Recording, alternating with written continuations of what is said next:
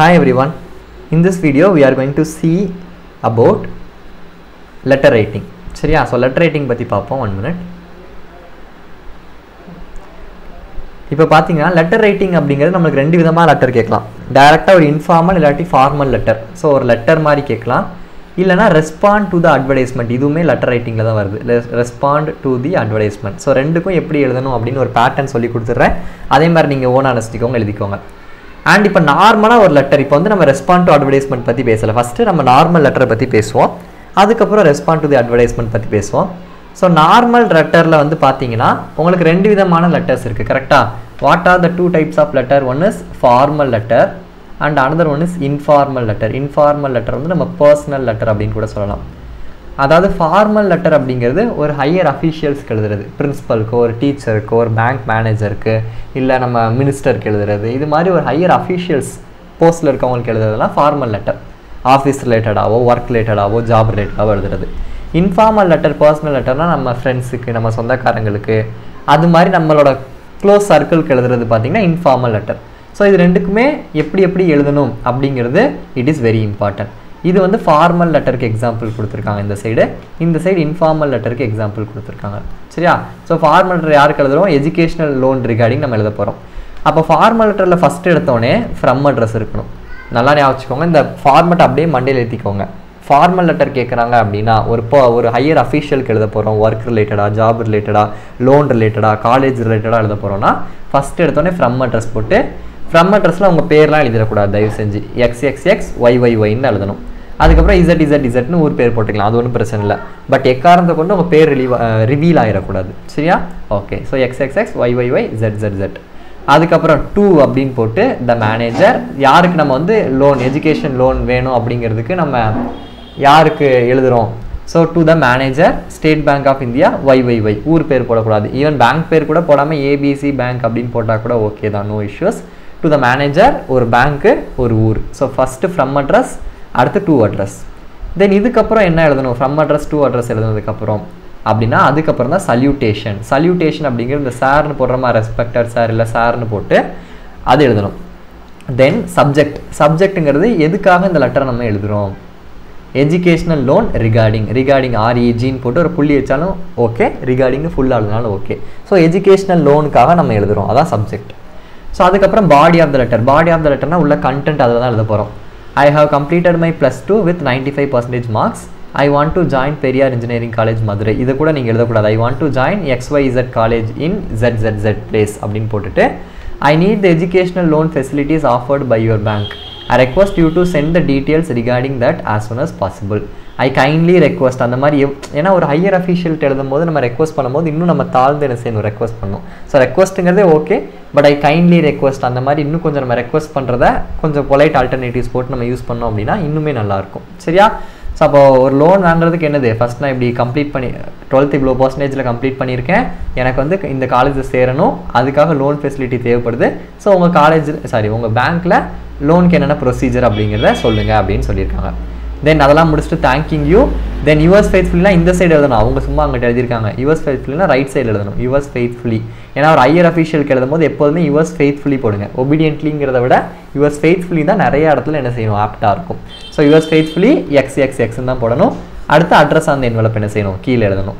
So அப்போ pattern பொறுத்தளவுக்கு pattern பொறுத்தளவுக்கு என்ன? ஃபஸ்ட் எடுத்தோடனே ஃப்ரம் அட்ரஸ் அடுத்து டூ அட்ரஸ் அடுத்து சார் சப்ஜெக்ட் எழுதுகிறோம் next body of the letter thanking you போடணும். யுவர்ஸ் ஃபெய்த்ஃபுல்லி போடணும். யுவர்ஸ் ஃபெய்த்ஃபுல்லி அதுக்கப்புறம் address on the envelope address on the envelope அதுக்கு முன்னாடி பிளேஸ் டேட்டும் சேர்த்து எழுதிக்கோங்க. அதாவது பிளேஸ் நீங்கள் எந்த இடத்துல இருந்து எழுதுறீங்க அதெல்லாம் நீங்கள் வந்து பிளேஸ் எக்ஸ் எக்ஸ் எக்ஸ்னு போட்டுட்டு இல்லை இசட் இசட் இசட்னு போட்டுட்டு டேட் வந்து ஒரு டேட் எக்ஸாம் டேட் இருக்குது தெரியுமா அந்த டேட்டை போட்டுருங்க. ஸோ தேங்கிங் முடிச்சதுக்கப்புறம் லெஃப்ட் சைடில் பிளேஸு டேட்டு அதுக்கப்புறம் அட்ரஸ் அந்த என்வலப் எழுதுங்க. அதுக்கப்புறம் இந்த சைடு என்ன செய்யுங்க யுவர்ஸ் ஃபெய்த்ஃபுல்லி எழுதுங்க. சரியா? ஓகே ஃபைன் பிளேஸ் டேட் எழுதினாலும் ஓகே பட் ஸ்டில் எழுதினா இன்னும் கொஞ்சம் நல்லாயிருக்கும். தென் இன்ஃபார்மல் லெட்டர் உங்கள் அங்கிளுக்கு எழுதுறீங்கன்னு வச்சுக்கோங்களேன். ஸோ இந்த மாதிரி இன்ஃபார்மல் லெட்டர் எழுதும் போது ஃபஸ்ட்டு எடுத்தவொடனே என்ன செய்யணும்னா பிளேஸ் அண்ட் டேட்டோட தான் ஆரம்பிக்கணும். ஃபார்மல் லெட்டருக்கு ஃப்ரம் டூ வச்சு ஆரம்பிக்கணும். இன்ஃபார்மல் லெட்டர்ஸ்க்கு எல்லாத்துக்குமே பிளேஸ் டேட்டை வச்சு ஆரம்பிக்கணும். அண்ட் ரைட் சைடு எழுத லெஃப்ட் சைடு எழுதக்கூடாது ரைட் சைடு எழுதணும்.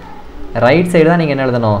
பிளேஸ் ட்ரிச்சி அதுக்கப்புறம் டேட் வந்து ஃபைவ் டூ டுவெண்ட்டி ஒன் திருச்சின்னு கூட எழுதக்கூடாது. ஜெட் ஜெட் ஜெட் அப்படி தான் எழுதணும். சரியா? ஸோ ரைட் சைடில் தான் நீங்கள் என்ன செய்யணும் அப்படின்னா you have to write the place and date informal லெட்டருக்கு அதை தான் ஸ்டார்ட்டே பண்ணணும். தென் என்ன எழுதணும்? எடுத்தோடனே நம்ம என்ன செஞ்சிடலாம்? மை டியர் அங்கிள் இல்லை ஃப்ரெண்டுனா மை டியர் ஃப்ரெண்ட் டியர் ஃப்ரெண்டுனா நம்ம ஃப்ரெண்டு பேரை போட்டுக்கலாம். ஸோ மை டியர் அங்கிள்னு போட்டுட்டு ஸோ ஃபஸ்ட்டு என்ன எழுதணும்? க்ரீட் பண்ணணும் அவங்கள. I am fine how are you அப்படின்னு தான் ஆரம்பிக்கணும். ஏன்னா ஒரு ஒரு பர்சனல் சாரி ஒரு ஒரு இன்ஃபார்மல் லெட்டர் எழுதும் போது நம்ம கேஷுவலாக எப்படி பேசுவோமோ ஸோ அந்த மாதிரி தான் நம்ம லெட்டர்ஸ் என்ன செய்யணும்? You have to write so I am fine how are you அப்படின்னு போட்டு I was very happy to receive your gift of a wrist watch on my birthday so உங்கள் அங்கிள் வந்து உங்களுக்கு கிஃப்ட் அனுப்பியிருக்காங்க. அதுக்கு தேங்க் பண்ணி நம்ம லெட்டர் எழுதுகிறோம் அப்போது I was very happy to receive your gift of a wrist wrist watch on my birthday is it is very beautiful and useful to me அந்த வாட்ச் பற்றி கொஞ்சம் எழுதணும் I like it very much it shall remain me of your love thank you very much for your kind gift so இது மாதிரி அந்த வாட்சுக்கு நம்ம thank பண்ணி எழுதியிருக்கோம். தென் இந்த மாதிரி இன்ஃபார்மல் லெட்டர் எழுதும் போது இந்த வேர்ட் கண்டிப்பாக முக்கியம். Convey my regards to all எல்லாருக்கும் என்னோட நான் கேட்டதா நம்ம சொல்லுவோம் தெரியுமா? ஒருத்தர் பார்த்தோன்னா நான் வந்து அம்மா கேட்டதா சொல்கிறேன் அப்பா கேட்டதா சொல்லுங்க அப்படின்னு சொல்லுவோம். ஸோ அதை தான் convey my regards to all அப்படின்னு என்ன நம்ம இங்கே எழுதுறோம். ஸோ இன்ஃபார்மல் லெட்டர் எப்போல்லாம் எழுதுறீங்களோ அப்போ கண்டிப்பாக convey my regards to all அப்படிங்கிறத கீழே எழுதணும். அதுக்கப்புறம் இன்ஃபார்மல் லெட்டர்ஸில் யுவர்ஸ் லவ்விங்லின்னு போடுங்க. யுவர்ஸ் ஃபெய்த்ஃபுல்லி வந்து ஃபார்மல் லெட்டர்ஸ்க்கு தான். ஸோ ஒரு ஃப்ரெண்டுக்கு ரிலேட்டிவ்க்கு எழுதும் போது யுவர்ஸ் லவ்விங்லி ரைட் சைடு தான் எழுதணும். யுவர்ஸ் லவ்விங்லின்னு போட்டுட்டு எக்ஸ் எக்ஸ் எக்ஸ் அதே மாதிரி கீழே அட்ரஸ் அந்த என்வலப் அப்போது ஒரு விஷயம் என்ன தெரிஞ்சுக்கணும்? ஃபார்மல் லெட்டருக்கு ஃப்ரம் டு போடணும். இன்ஃபார்மல் லெட்டருக்கு ஃப்ரம் டு போடக்கூடாது. சரியா? That is very important so இங்கே மார்க்ஸ் கொடுத்துருக்காங்க. ஃபார்ம் லெட்டருக்கு வந்து ஹெட்டிங் ஹெட்டிங்கிறது அந்த ஃப்ரம் டூ அதுக்கு ஆஃப் மார்க்கு இன்சைட் அட்ரஸ்க்கு ஆஃப் மார்க்கு சல்யூட்டேஷன் சல்யூட்டேஷனுங்கிறது அந்த டியர் சார் இல்லை ரெஸ்பெக்டட் சார் போடுறோமா? ஸோ அதுக்கு half mark body of the letter and closing எதுக்காக அந்த லெட்டரை எழுதுறோம்? அந்த பாடி கண்டென்ட் இருக்குல்ல உள்ள நான் எழுதுகிற கண்டென்ட்டுக்கு மூணு mark then subscription sign and superscription அந்த யூஎஸ் ஃபெய்த்ஃபுல்லி அதெல்லாம் போட்டுட்டு உங்கள் நேம் எழுதிட்டு நேம்னா எக்ஸ் எக்ஸ் எக்ஸ் போட்டுட்டு கீழே அட்ரஸ் அந்த என்னோட எழுதுகிறோமா ஸோ அதுக்கு half mark so totally five mark personal letter informal லெட்டருக்கு heading ஹெட்டிங்கிறது இந்த பிளேஸ் டேட்டோட ஆரம்பிக்கிறோம் தெரியுமா? ஸோ அதுக்கு half mark salutation dear uncle எழுதுறோமா? அதுக்கு half mark body of the letter and closing இதுக்கும் அதே மூணு மார்க் அந்த டியர் அங்கிள்குள்ளே நம்ம தேங்க் பண்ணி அவ்வளோ பெருசாக எழுதணும் தெரியுமா? கிஃப்ட்டுக்கு தேங்க் பண்ணி அதுக்கு மூணு மார்க்கு சப்ஸ்கிரிப்ஷன் அண்ட் சைன் தேங்க்யூன்னு போட்டு யுவர்ஸ் லவ்விங்லி அப்படின்னு போட்டு எழுதியிருக்கோம். அண்ட் அட்ரஸ் அந்த என்னோட இதுக்கெல்லாம் சேர்த்து ஒரு மார்க் என்ன செய்வாங்கன்னா கொடுப்பாங்க. சரியா? So this is all about how to write a formal letter and informal letter so இங்கே பாருங்கள் ஒரு எக்ஸாம்பிள் இருக்குது write a letter to your friend so friend அப்படின்னா இது எனது இன்ஃபார்மல் லெட்டர் தான். இன்ஃபார்மல் லெட்டர் தான். Congratulated him or her having been selected for the semifinals of a state level hockey tournament உங்கள் ஃப்ரெண்டு வந்து ஸ்டேட் லெவல் ஹாக்கி டோர்னமெண்ட்டுக்கு வந்து select ஆயிருக்காங்க. அதுக்கு நம்ம வந்து கங்க்ராச்சுலேட் பண்ணி என்ன செய்கிறோம் அப்படின்னா நம்ம லெட்டர் எழுதுகிறோம் சரியா? அப்போ எடுத்தோடனே இந்த X X X Y Y இந்த ஃப்ரம் டூலாம் எழுத வேணாம். நீங்கள் எடுத்தோடனே பிளேஸ் டேட்டோட ஆரம்பிச்சிடலாம். ஒரு பிளேஸ் இசட் இசட் இசட்னு வச்சுட்டு டேட் என்னது நம்மளுக்கு?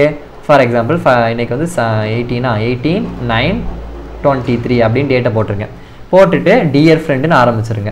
சரியா? இந்த பிளேஸ் டேட்டை போட்டுட்டு டியர் ஃப்ரெண்டுன்னு என்ன செஞ்சுருங்க? ஆரம்பிச்சிருங்க. ஸோ டியர் ஃப்ரெண்டுன்னு ஆரம்பிச்சுட்டு I hope you are in good health I was over enjoy to know that you have been selected for the semifinals first அவன் நல்லா இருக்கானா அப்படிங்கிறத நம்ம எப்போதுமே ஒரு இன்ஃபார்மல் லெட்டர் எழுதும் போது அவங்க நல்லா இருக்காங்களா அப்படிங்கிறத தெரிஞ்சுட்டு அண்ட் ஐ வாஸ் எதுக்காக நம்ம லெட்டர் எழுதுகிறோம் அஹ் வந்து செமிஃபைனல் செலக்ட் ஆகிட்டான் ஸோ அதுக்கு வந்து நான் ரொம்ப சந்தோஷப்படுறேன் அப்படிங்கிற ஒரு line then my hearty congratulation congratulate பண்ணுறோம் I am proud of you கொஞ்சம் பெருமையாக நம்ம எழுதுவோம்ல ஃப்ரெண்டை பற்றி ஸோ லெட்டரை தான் எழுதி தள்ள முடியும். This is the result of your hard work and perseverance I am confident that you will win this tournament so அதுக்கு நம்ம என்ன செய்கிறோம் கண்டிப்பாக நீ வந்து ஜெயிப்ப. All the best convey my regards to family so convey my regards கண்டிப்பாக எழுதணும். Informal லெட்டரில் தென் யுவர்ஸ் லவ்விங் இங்கே சைடு எழுதுங்க. யுவர்ஸ் லவ்விங்லி போட்டு எக்ஸ் எக்ஸ் எக்ஸ் இந்த சைடு அட்ரஸ் அந்த என்வலப் இதுலேயே நல்லா கொடுக்கல. அட்ரஸ் அந்த என்வலப் ஸோ நம்ம பேட்டர்ன் எப்படி எழுதணும் முன்னாடி பார்த்தோமா? அதே பேட்டர்ன் எழுதுங்க. இவங்க கொடுத்துருக்காதான் பார்க்க வேணாம். Okay fine so this is அதுக்கப்புறம் இந்த மாதிரி இதுவும் கேட்பாங்க. என்னென்னா ஆர்டர் பண்ண சொல்லுவாங்க. அதாவது இப்போ கிரிக்கெட் பேட் ஒரு ஐம்பது பேட் ஆர்டர் பண்ணுற சொல்லலாம். அதுக்கப்புறம் ஒரு ஏதோ ஒரு விஷயம் ஆர்டர் பண்ண சொல்கிறது கூட நம்மளை என்ன செய்வாங்கன்னா லெட்டர் எழுத சொல்லுவாங்க. அதுக்கு ஏதாவது எக்ஸாம்பிள் இருக்கான்னு பார்ப்போம். I think there is no example okay so அது மாதிரி லெட்டர் கொடுத்தாங்கன்னா அதே தான் பிளேஸ் அதுவும் வந்து ஒரு லைக் ஒரு ஃபார்மல் லெட்டர் மாதிரி தான். ஸோ ஃப்ரம் டூ போட்டு என்ன செய்யலாம்? எழுதலாம். சார் போட்டுட்டு சப்ஜெக்டில் வந்து ஆர்டரிங் ஆஃப் எனது ஸ்போர்ட்ஸ் ஐட்டம் அது மாதிரி போட்டுக்கோங்க. அதே மாதிரி ஃப்ரம்மு டூவு சப்ஜெக்ட் வந்து ஆர்டரிங் ஃபார் ஆர்டரிங் ஆஃப் எனது ஸ்போர்ட்ஸ் ஐட்டம் ரிகார்டிங் அப்படின்னு போட்டுட்டு நான் இங்கேருந்து அதாவது இப்போ நீங்கள் ஒரு ஸ்கூல்லேருந்து மொத்தமாக ஸ்போர்ட்ஸ் ஐட்டம் ஆர்டர் ஆர்டர் பண்ணுறீங்கன்னா we are from this school எங்கள் ஸ்கூலுக்கு இந்த மாதிரி ஸ்போர்ட்ஸ் ஐட்டம் தேவைப்படுது. ஸோ அதுக்கு நீங்கள் என்ன செய்யுங்க உங்கள் இதில் வந்து ப்ரைஸ் டீட்டெயில்ஸ் எவ்வளோ இருக்கும்? ஸோ நாங்கள் ஆர்டர் அதை வந்து கொஞ்சம் ஆஸ் சூன் அஸ் பாசிபிள் எங்களுக்கு சொல்லுங்கள் சொன்னீங்கன்னா நாங்கள் ஆர்டர் பண்ணுறது கொஞ்சம் எனது வசதியாக இருக்கும். ஸோ அந்த மாதிரி நம்ம அவங்ககிட்ட என்கொயர் பண்ணுறோம் ப்ரைஸ் டீட்டெயில்ஸ் பற்றி ஸோ அதை எழுதிட்டு உங்களுக்கு என்னென்ன டீட்டெயில்ஸ் வேணும் அதாவது என்னென்ன ஸ்போர்ட்ஸ் ஐட்டம் வேணும் அப்படிங்கிறத என்க்ளோஸ் பண்ணணும். கிரிக்கெட் பேட் ஒரு ஐம்பது அதுக்கப்புறம் ஃபுட்பால் ஒரு இருபது. அது மாதிரி உங்களுக்கு என்னென்ன வேணுமோ அந்த லிஸ்ட் எழுதிட்டு அகைன் யூஎஸ் ஃபெய்த்ஃபுல்லி போட்டுட்டு அட்ரஸ் அந்த என்வெலப் போட்டு நீங்கள் முடிச்சிடலாம். சரியா?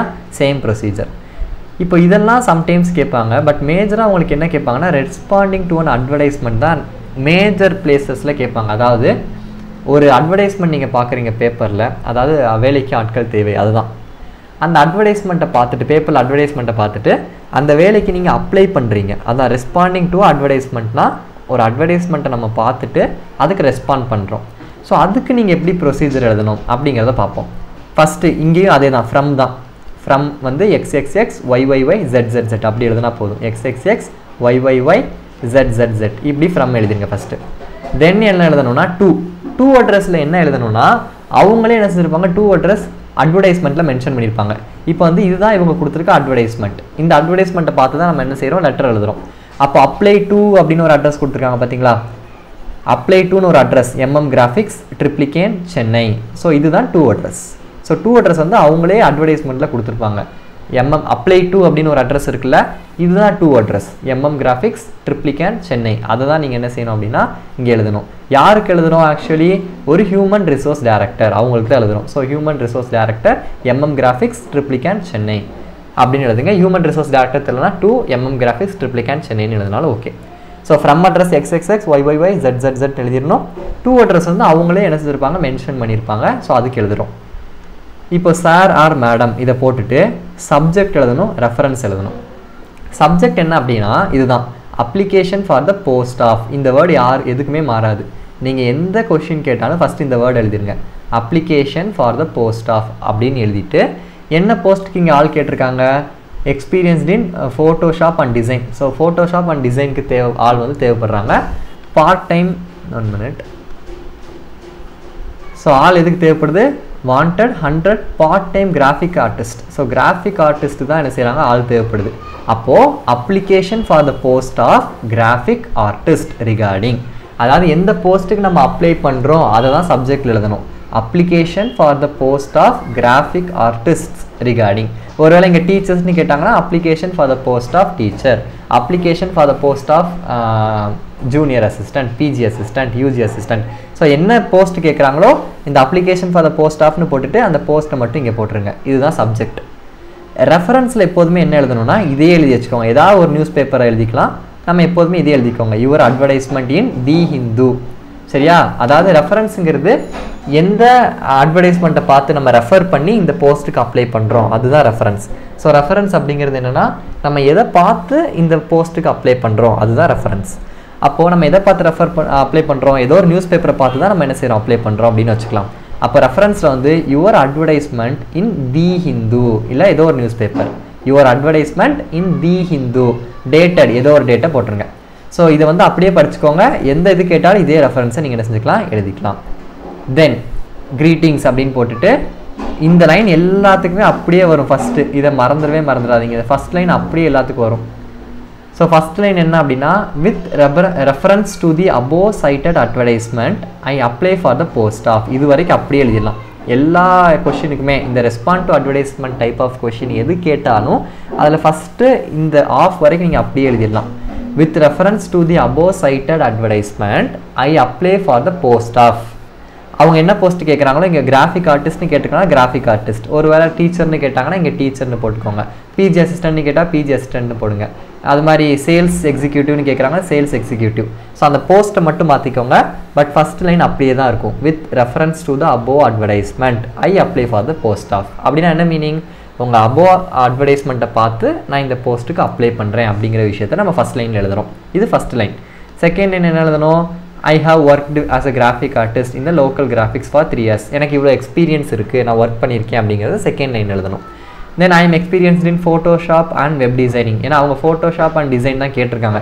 ஸோ அதுலேயும் எனக்கு எக்ஸ்பீரியன்ஸ் இருக்குது அப்படிங்கிறத அடுத்த லைன் எழுதுகிறோம் தென் லாஸ்ட் என்ன எழுதணும்னா I enclose my biodata I shall do my best in the interest of your concern அதாவது நம்ம பயோடேட்டா பயோடேட்டான்னு என்னது? நம்ம ரெஸ்யூமே இருக்குல்ல? ஸோ அந்த ரெஸ்யூமேவை நான் அட்டாச் பண்ணுறேன் அப்படிங்கிறத அடுத்த லைன் எழுதணும். I enclose my biodata biodata இல்லை சிவி இல்லைனா ரெஸ்யூமே எப்படி எழுதினாலும் கரெக்டு தான். இதை வந்து அடுத்த லைன் எழுதணும்.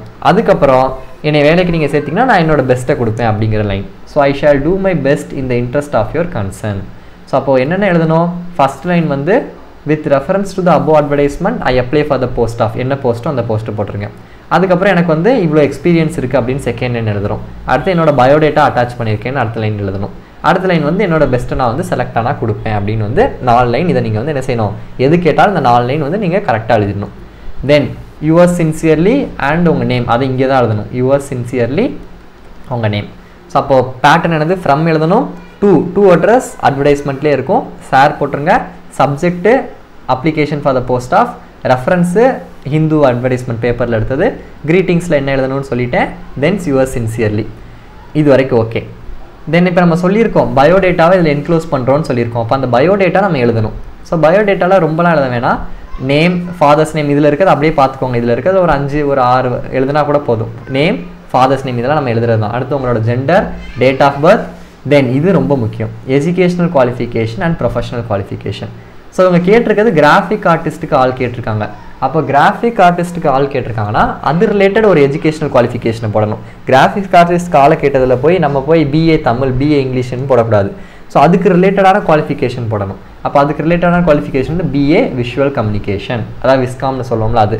ஒருவேளை இங்கே ஒரு மேக்ஸ் டீச்சருக்கு ஆள் கேட்டிருக்காங்கன்னா எம்எஸ்சி மேத்தமெட்டிக்ஸ் ஒரு கெமிஸ்ட்ரி கெமிஸ்ட்ரி டீச்சருக்கு ஆள் கேட்டிருக்காங்கன்னா எம்எஸ்சி கெமிஸ்ட்ரி ஸோ அவங்க என்ன பொசிஷனுக்கு ஆள் கேட்குறாங்களோ அதுக்கேற்ற educational qualification you have to write here then professional qualification வந்து நம்ம எக்ஸ்ட்ராவாக ஏதாவது படிச்சிருக்கோமா? இப்போ கிராஃபிக்ஸ்க்கு வந்து நான் டிப்ளமோ கோர்ஸ் எக்ஸ்ட்ரா முடிச்சிருக்கேன். த்ரீ டி அனிமேஷன் ஸோ இந்த இந்த கோர்ஸ் வந்து நான் எக்ஸ்ட்ராவாக முடிச்சிருக்கேன் ப்ரொஃபஷனல் கோர்ஸ் அது மாதிரி எதுவும் முடிச்சிருந்தோன்னா அதை நம்ம இங்கே மென்ஷன் பண்ணணும்.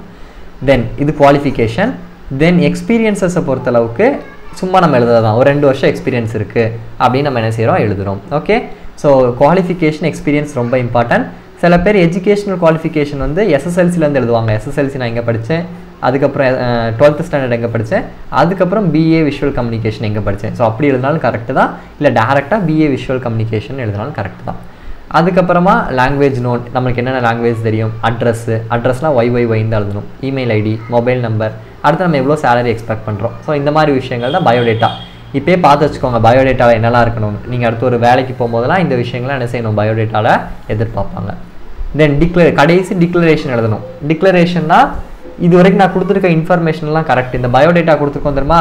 இந்த பயோடேட்டாவில் நான் கொடுத்துருக்க இன்ஃபர்மேஷன் எல்லாமே கரெக்ட் அப்படின்னு சொல்கிறதுக்கு தான் இந்த டிக்ளரேஷன் ஸோ டிக்ளரேஷனில் ஐ எக்ஸ்எக்ஸ்எக்ஸுங்கிறது உங்கள் பேர் நம்ம இங்கே சும்மா ஜென்ரலாக எழுதியிருக்கோம்.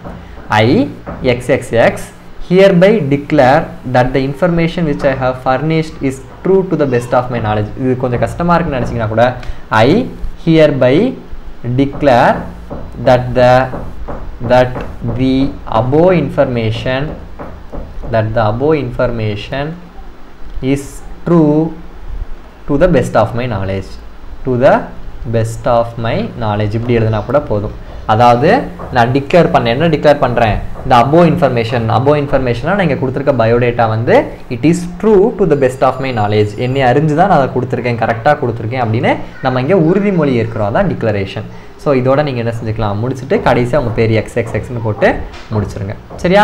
So this is the procedure for writing respond to the advertisement first from எழுதணும். டூ வந்து அவங்க அட்வர்டைஸ்மெண்ட்டில் கொடுத்த அட்ரஸ்ஸு சப்ஜெக்ட் ரெஃபரன்ஸ் அதுக்கப்புறம் இந்த greetings with reference to the above cited advertisement எனக்கு இவ்வளோ எக்ஸ்பீரியன்ஸ் இருக்குது என்னோட பயோடேட்டா வச்சுருக்கேன். அடுத்து I will do my best அதை எழுதிட்டு யுவர் சின்சியர்லி போட்டுடுறோம். அடுத்து ரெஸ்யூமே ஜென்ரலாக எழுதணும். டிக்ளரேஷன் எழுதணும். கீழே கடைசியாக அவங்க சைனோட முடிச்சிடணும். ஸோ கொஞ்சம் ஃபாஸ்ட்டாக சொன்ன மாதிரி இருக்கலாம். பட் உங்களுக்கு இந்த ப்ரொசீஜர் மட்டும் தெரிஞ்சால் போதும் லெட்டருக்கு எல்லாத்தையும் போட்டு நீங்கள் எழுதணும்னு அவசியம் இல்லை. ப்ரொசீஜர் தெரிஞ்சு ஓனாக நீங்கள் என்ன செஞ்சுக்கலாம் உள்ளே எழுதிக்கலாம். கொஞ்சம் கிராமட்டிக்கல் மிஸ்டேக்ஸ் இல்லாமல் எழுதுங்க. தட்ஸ் இட் ஸோ நெக்ஸ்ட்டு இன்னொரு ஒரு டாப்பிக்கோட மீட் பண்ணுவோம். தேங்க்யூ